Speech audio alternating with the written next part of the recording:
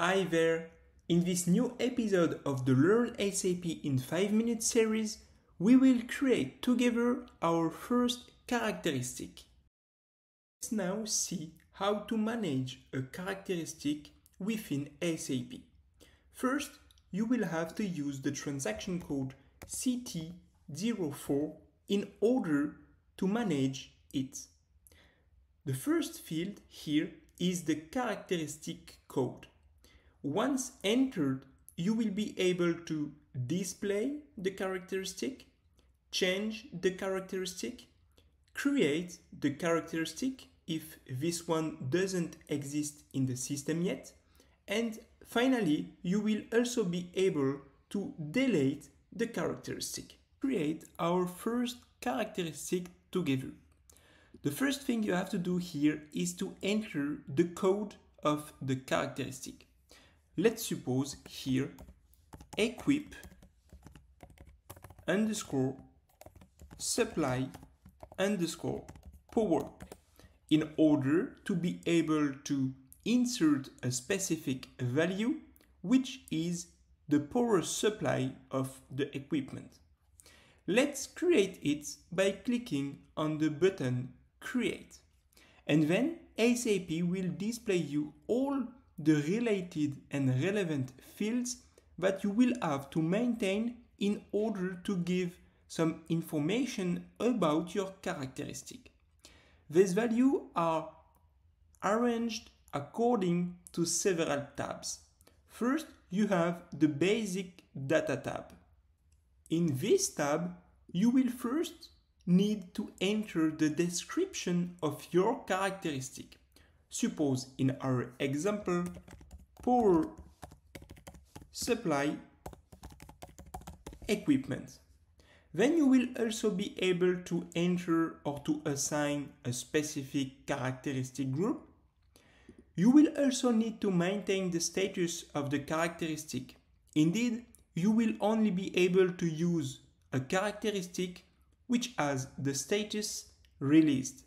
Overrides for both remaining statuses in preparation and locked, you will not be able to use it in the future.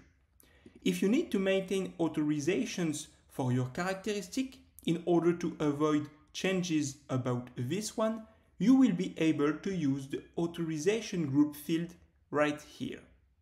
Then you have an over part in the basic data tab which is the format of your characteristic. Let me interrupt you 5 seconds. If you are interested in our content, don't forget to like this video, subscribe to our channel and activate the bell in order to be notified each time we will publish a new training video in SAP. Let's suppose that in our case, the characteristic is on the numeric format data type.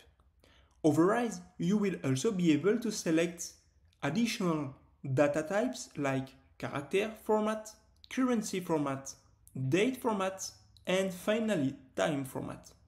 Let's select the numeric format.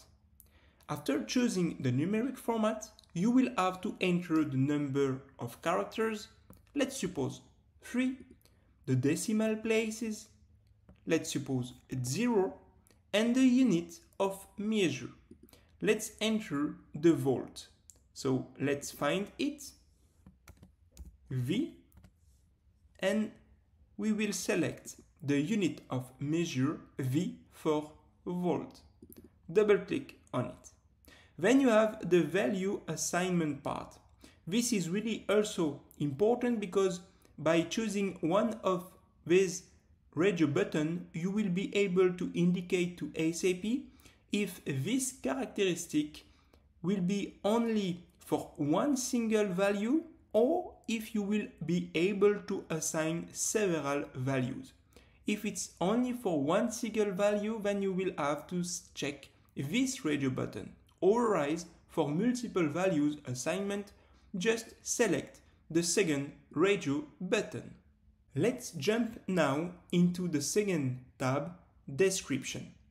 In this table, you will be able to add the description of your characteristic in different languages. By default, you have the description of your characteristic you entered in the basic data tab in the logon uh, language you used. In my case, it was by default in English.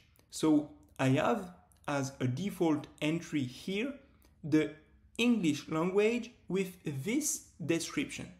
And you will be able to add, for example, in German, here also the description of the characteristic.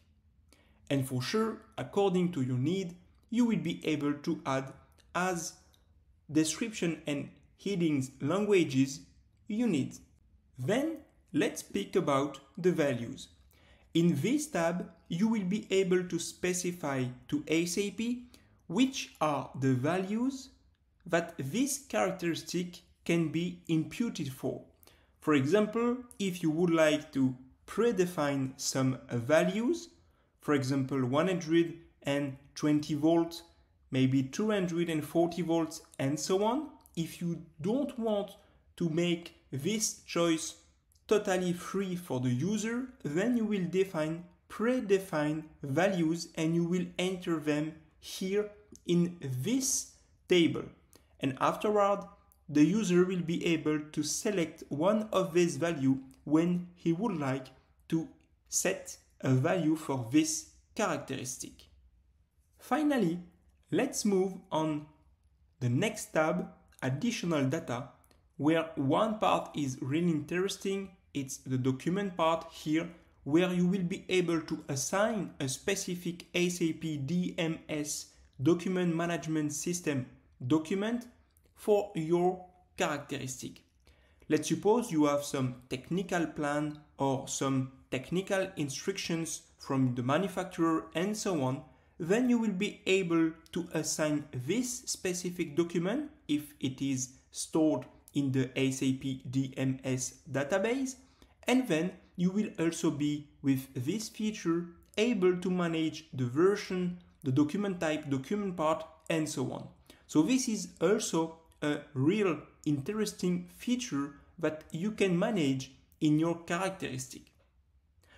Once all the fields completed, you just have to press the save button in order to create your characteristic. In our case, you can see in the status bar that our characteristic equip supply power is now created in the system. Thanks to you for watching this video. Don't hesitate to subscribe to the channel if you like our content and to visit our website to know more about SAP. See you soon!